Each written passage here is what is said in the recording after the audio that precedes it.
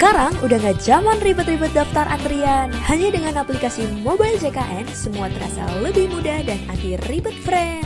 Kamu hanya perlu masuk ke aplikasi Mobile JKN, pilih vaskes rujukan tingkat lanjut, pilih fasilitas kesehatan yang dituju, pilih tanggal dan dokter praktik, dan otomatis akan mendapatkan nomor antrian disertai perkiraan jam pelayanan poliklinik. Lakukan verifikasi data dengan scan barcode pada aplikasi Mobile JKN, setelah itu, cetak nomor antrian kamu dengan menginput 16 digit NIK dan verifikasi diri melalui fingerprint.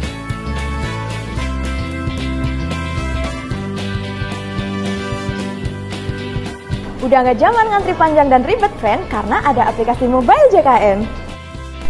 Download aplikasi Mobile JKN sekarang.